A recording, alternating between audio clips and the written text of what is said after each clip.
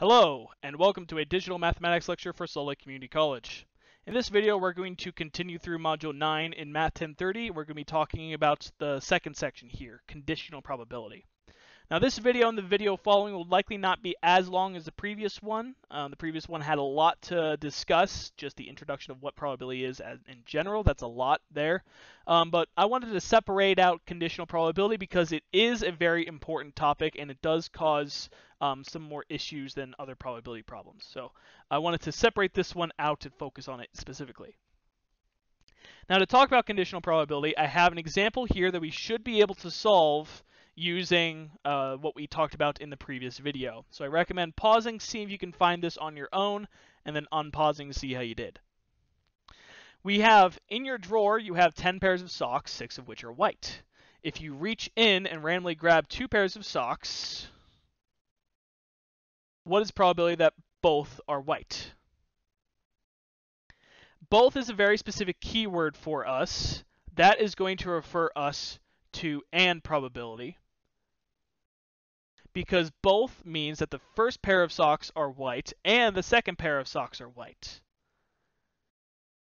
So probability that both are white is the same as the probability that the first is white and the second pair of socks is white.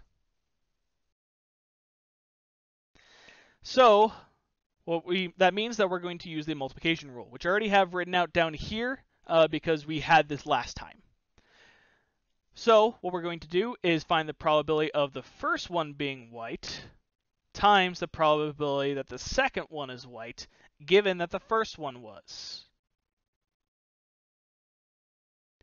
Well, I'll write that below it the probability of the first one being white, there are six socks that are white out of the total of 10.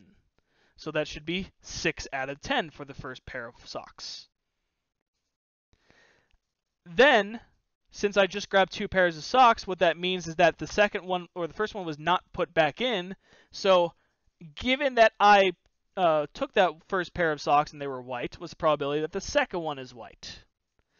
Well, there's only nine other pairs of socks, one less than how many total there was. And likewise, since I already took a pair of white socks, there's only five pairs of white socks remaining. If I multiply those two together, what I get is a total of 30 out of 90. So 5 times, uh, 6 times 5 is 30, 10 times 9 is 90. This is also 0.33 or 33%. All these represent the same thing. Okay, now I wanted to talk about that example first as a warm-up and kind of a review from last time, and also because what we're going to talk about is how we find this specific probability itself. How we find the probability of one thing happening given something else had occurred. That is what we're going to focus on now. We're going to do specific problems of finding just a conditional probability, not and or or.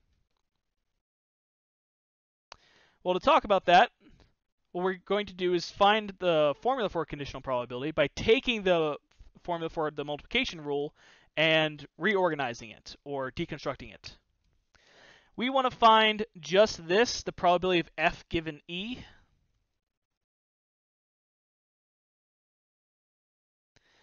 And in order to find that, if we isolate this by dividing over probability of e, what we get is the probability of E and F divided by, we divide this over, and we get the probability of E. That's going to be the formula for conditional probability. The probability that they both happen over the probability of just one of them. And the one on the bottom is very, very, very, very, very important. Notice that here it says the probability of E on the bottom. That is going to line up with the condition here. So whatever my condition here is, the given E, that's going to be the probability that was on the bottom.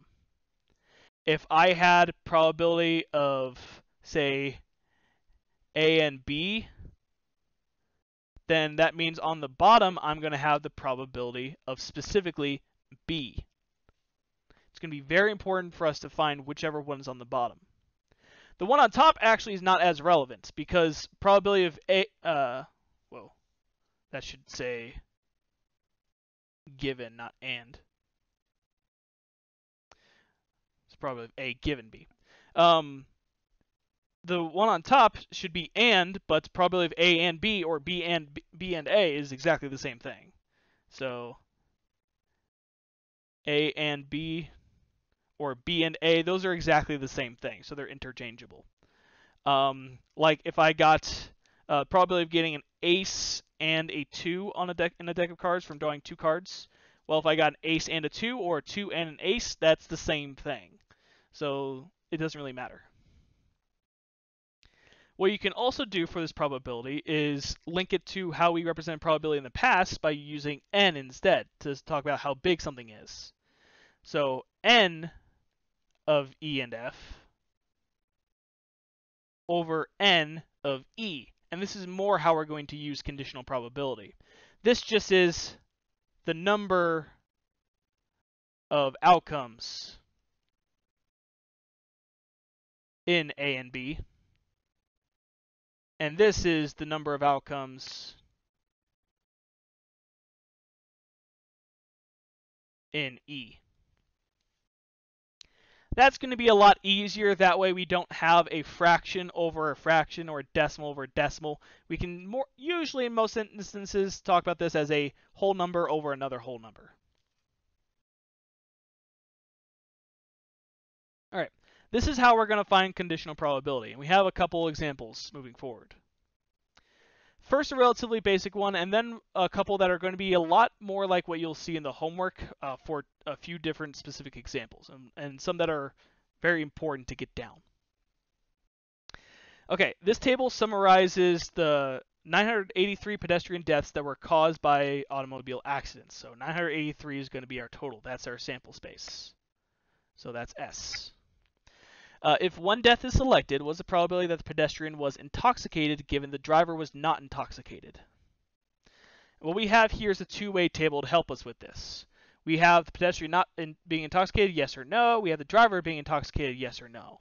And what we have are the different values next to them. So we have that 48 instances where both of them were intoxicated. We have 85 where the pedestrian was not and the driver was. We have 223 where the pedestrian was and the driver was not. Notice that I'm combining all those with the word and. What we're also going to need to find are the totals beside each of these. So the total here and the total here. For pedestrian intoxicated, we have 43 plus 223. So 43 plus 223 will give me 271 and we have 85 plus 627. That should give me 712. If I add those two together, that they better give me 983, and they do. And then if I add the rows together, I get 48 plus 85, gives me 133, and 223 plus 627 gives me 850. Also, these two sum up to 983. I need to find these because what I'm basically building is my full sample space. I'm building all the different values that I have or could possibly work with. For A, we want the probability that the pedestrian was intoxicated. So I'll say probability of pedestrian sub I. So the pedestrian was intoxicated given that the driver was not intoxicated, so NI. I like to use subscripts. I, I think it's a lot easier, at least to uh, reduce it down. Well, to find this probability, we have given here, so we're going to set this up appropriately. We want on top the probability of the pedestrian being intoxicated and the driver not being intoxicated out of the condition. My condition here is uh, the driver not being intoxicated, so this should be out of the probability of the driver not being intoxicated.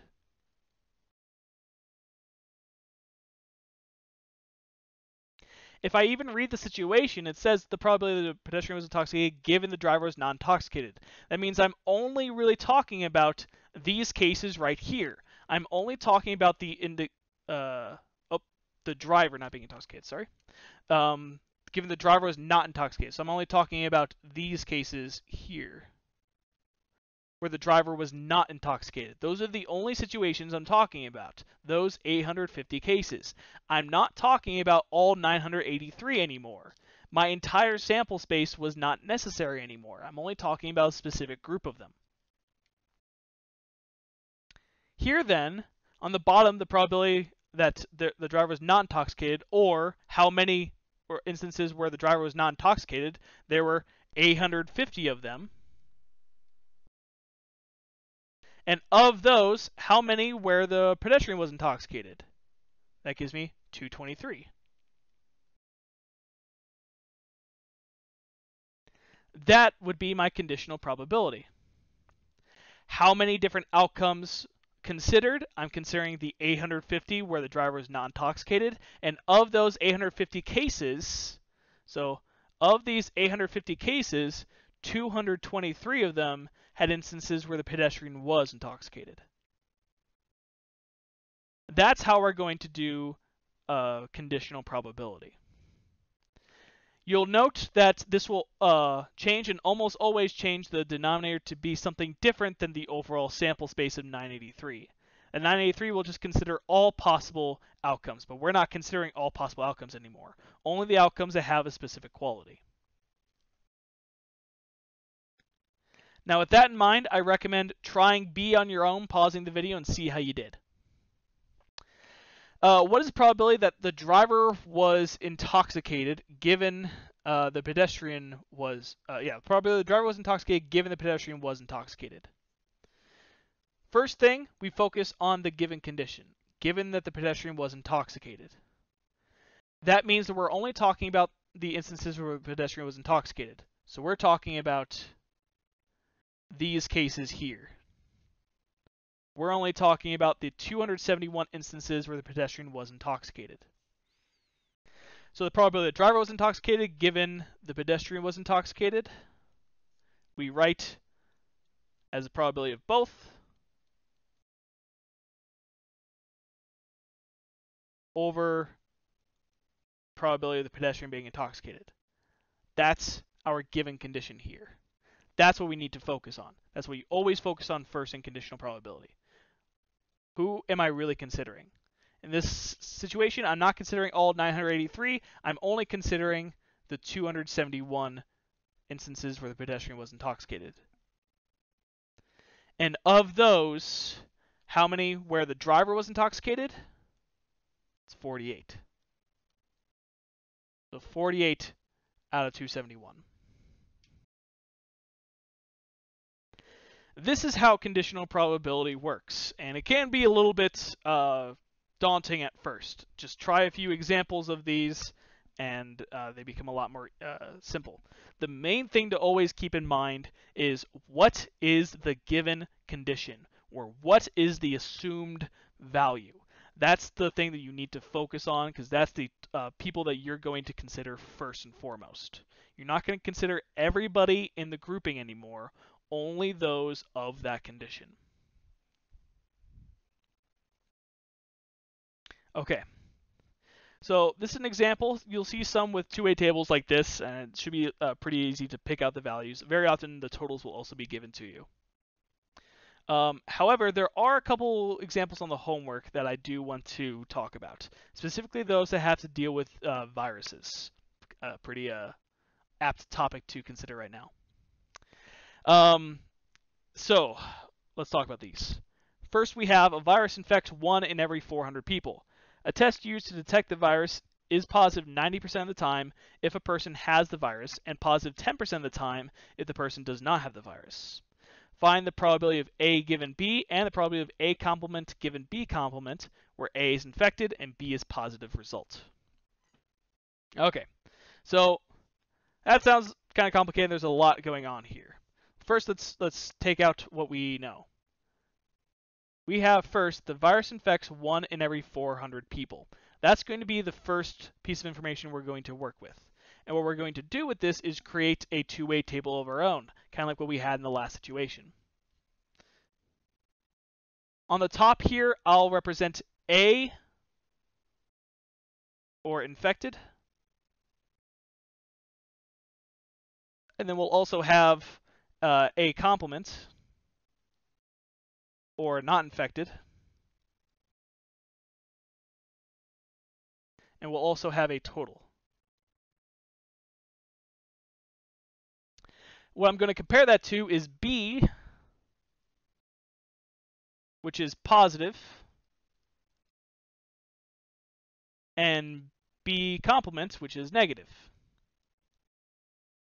You can also just write A complement and B, A and B complement and B instead of infected and positive. I like to know as much information as possible.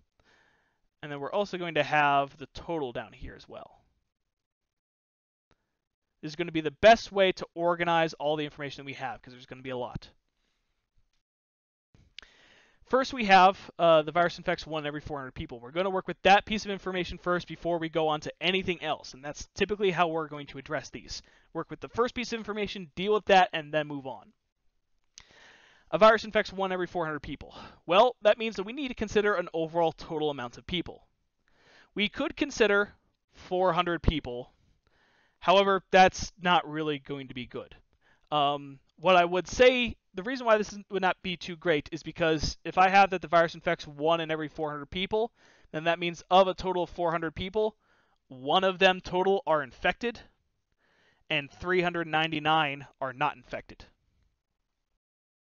That's not going to work out too well because we want some whole numbers in here. So what we're going to do is add a zero to this, at least one of them, maybe two. Um, let's do two just to have a bigger number. So of the 40,000 people, I'd have that 100 are infected and 39,900 are not infected. I'm just coming up with an arbitrary number here, so this is completely arbitrary. However, the recommendation is to come up with a large enough number so that the values that you'll be using in the rest of the table are whole numbers. Uh, whole numbers are the easiest thing to work with by far, so we try to work with those instead. Okay, uh, so keep that in mind that is arbitrary. A lot of instances, what they will sometimes use uh, a very common uh, common value for n or your sample size is 100,000. It's a very common number to use. Um, and I will actually use that in the next example. The only reason I use four, uh, one that starts with a 4 here is because we have 1 in every 400. So it's a more convenient number, I think. Okay, but note that this is an arbitrary number. I just wanted something big enough to make some other values here. And to find each of these, you could do 40,000 times 1 out of every 400. So uh, 40,000 or 40k times 1 out of 400 that's what the virus infects. Should give you 100. And then if you take that away from 40,000, you get 39,900, the complement, or A bar. Okay, so we're building all those. Then what we're going to do is use the next piece of information. Each piece of information is going to give me two values in this table, and we'll fill out the rest. A test used to detect the virus is positive 90% of the time if a person has the virus. That's our next piece of information. So positive 90% of the time if a person has the virus. That second part is very important. That's going to be uh, our condition. So if a person has a virus means given that they have a virus, given that they are infected, it's positive 90% of the time. So that means if I do 100 times 90% or 0.90, I get 90. And that's how many are positive and infected. I used, um, yeah, I used if the person has the virus. I'm only considering those 100 people. 90% of them would uh, have a positive result. Then that thusly means that 10 of them are going to have a negative result the complement. That way 90 plus 10 equals 100. So this column should add up just like this row added up. Then I'm going to use my next piece of information. Positive 10% of the time if the person does not have the virus. Likewise, it says if the person does not have the virus. So that means we're considering this situation right here. So we're considering this case where we do not have the virus. They're not infected. And it's positive 10% of the time for them. If I do 39,900, and if I do that times 10%, so I'll write that over here, 39,900 times 0.10, I get 3,990. That's how many of them have a positive result. So 3,990. If I take that away from 3,900 uh, or 39,900, I get 3, 000, the 35,910. And again, I just found that by using a complement. Uh, 39,900 minus 39,090, so 39,900 minus 30,000, 3,990 should give me the 35,000. Notice every information piece that was given to me, one in every four, 400, gave me two pieces of information. It gave me these bottom two down here. Uh, person, the 9% of the person, uh, if they have the virus, gave me these two. The 10% of the time gave me these two. So it always gave me two pieces of information. And there's two slots that are still missing, but no more information given. However, I don't need any more information because I should be able to solve this. 90 plus 3,990, so if I add straight across this row for B, I get 4,080. And if I add straight across here for B complement, I get 35,920. And if I check 4,080 plus 35,920 does add up to 40,000. So all my ducks are in a row per se. Now we needed to find all this so we can calculate our probabilities that were requested. So, first, probability of A given B. Well, that's going to be the probability of A and B over the probability of, okay, say right now if you know which one it is, if it's either A or B, should be the probability of B.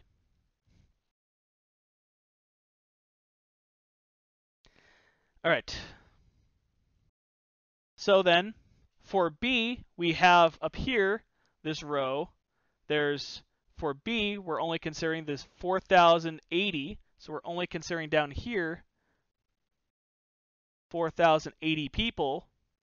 And of them, how many of them are A and B, are positive and infected? We have 90 out of 4,080.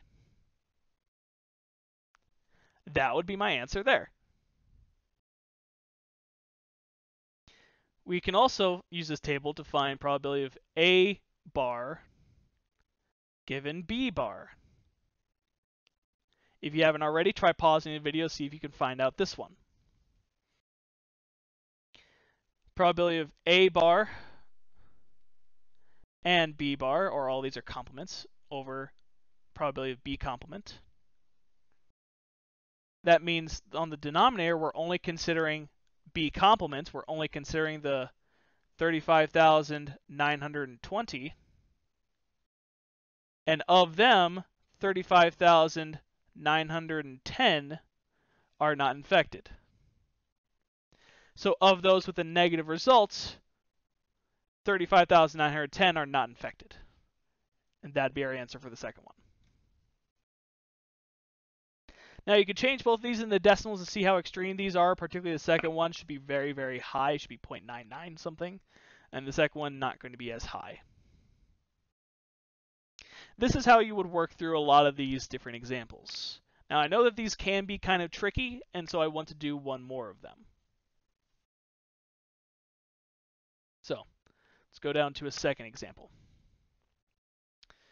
Okay, we have here that a certain disease has an incidence rate of 0.4%. Uh, so 0.4%, make sure that you recognize that 0.4% means 0.004 if you move the decimal place back two places. If the false negative rate is 5% and the false positive rate is 3%, compute the probability that a person who tests positive actually has a disease. Then compute the probability that the person who tests negative does not have the disease. Okay, so that we're going to find basically the probabilities we had in the last situation. Most of the time we're looking for these ones. Okay, so uh, in this case, I'm again going to consider disease and no disease, and then a total. And then we have also uh, positive and negative, and then a total. Okay. Let's see if I can color code these. A certain disease has an incidence rate of 0.4%. So that's going to be our first piece of information that we're going to look for. And I'm going to color code this with green. Okay. So uh, in this situation, I'm going to use uh, arbitrary sized uh, total, and I'm going to use 100,000 for a total a good thing to keep in mind if your total isn't big enough, basically if you did not use enough zeros, just add on another zero and that should add zeros onto all your places or should move decimals back. Um, so if you start seeing decimals, you can always make this bigger if you don't like them. I think they're kind of ugly, so I like to get rid of them if I can. So what I'm going to do is 100,000. And then I'm going to do times 0.004 to find how many of them have the disease. So if I do 100,000 times 0.04, or 0.004, sorry, you should get 400. And that means that 400 of them have the disease. If I then take a complement, so if I do 100,000 minus 400, I should get 99,600. So that should be how many of them do not have the disease of that total. So that's my first piece of information. Then what we have is that whoop, we have that the false negative rate is 5%.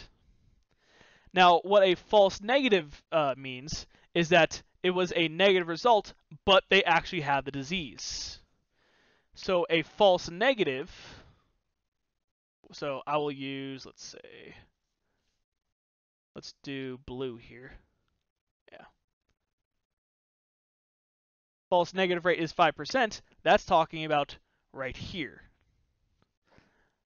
Negative, and they have the disease that would be a false negative. They had a negative result saying that they do not have the disease, but they actually do. So that means that we need to take whoop, we need to take 400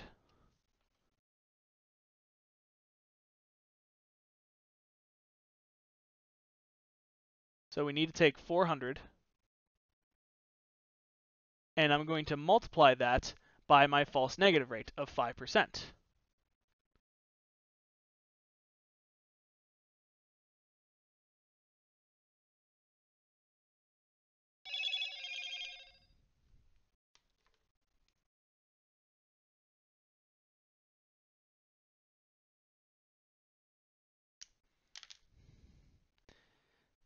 So 0.05. And that should give me an answer of 20. 400 times 0.05, just making sure. Yeah. So that means 20 of them had the disease, and they had a negative result. Likewise, if I do the complement, I have 400 minus 20 should give me 380. That's how many had a positive result with the disease.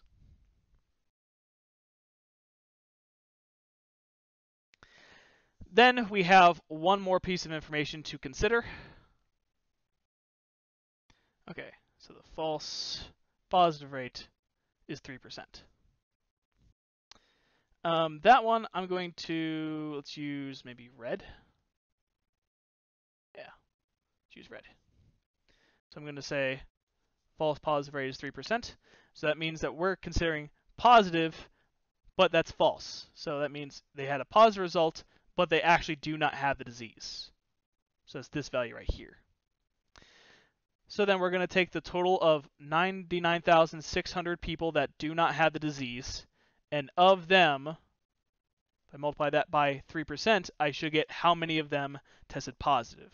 So 99,600 times 0.03 in your calculator should give you uh, 2,988. So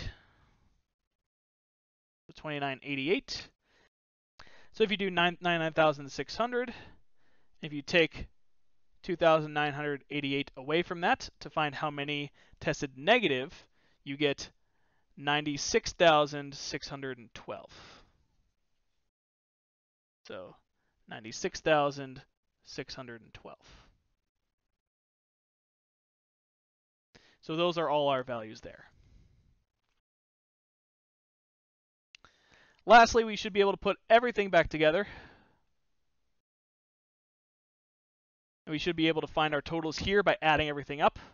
So if I do 380 plus 2,988, so 380 plus 2988, I get 3,368.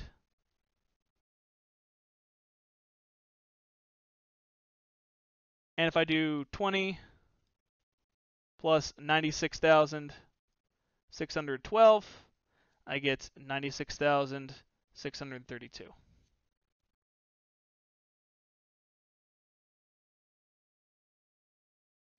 And just to make sure, if you add these two together, they should add up to 100,000, and they do. All right, so that's me going through step by step making that table. Now, all the stuff that I did over here, these calculations on the side, you do not need to show these, or you shouldn't have to.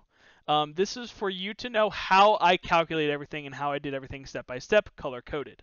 So I did the green, I did the certain disease first. So first two pieces of information, blue, red, and the last two. So every time I, I should find a pair by calculating one of them and then finding the complement for the other. However, making the table is not the answer to the question. We want the probability that uh, a person who tests positive actually has a disease so that means that they have the disease given they tested positive. That's what it means to be if they tested positive, uh, or a person who tests positive. That's my condition here. And then we also want the probability that the person who tests negative does not have the disease. So we want the probability that the uh, person who tested negative does not have the disease.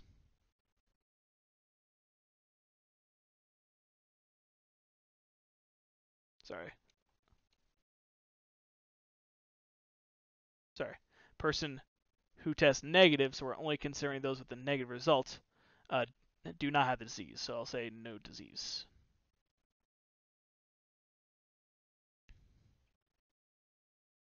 All right. Well, this first one, uh, probability of a disease given positive. So that means we're considering those that tested positive. So of the 3,368, how many of them had the disease? 380 of them did. Of those that tested negative, so that means of the 96,632 that tested negative, how many of them do not have the disease? That's 96,612. So those are our two answers there. And again, you can calculate those into decimals or percentages if you so please. All right, so these look like a lot of work. Um, most of this becomes a lot faster the more you do it. Uh, so setting up this table becomes easier and easier because you're probably not writing out all these steps, at least after the first few times of trying it out. Um, but definitely give these a shot immediately after watching this video. There's a couple of these on the homework, and I think there's uh, one or two on the quiz as well. Um, they're very important for you to know and to test out. Um, but with that said, that's everything that I have for this video. It's a little bit shorter just because it's focusing on this specific topic. Uh, I hope this helped, and um, remember that there's going to be a third video for probability that's going to go into expected value problems. Uh, with that said, I hope you have a nice day.